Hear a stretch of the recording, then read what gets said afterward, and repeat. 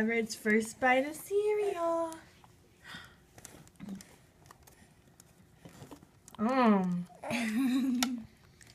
How is that? How is that? Is it yummy? Yeah? You like it?